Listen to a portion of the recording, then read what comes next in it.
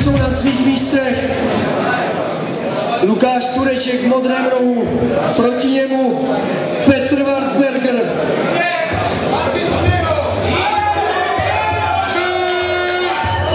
Takže připomínám.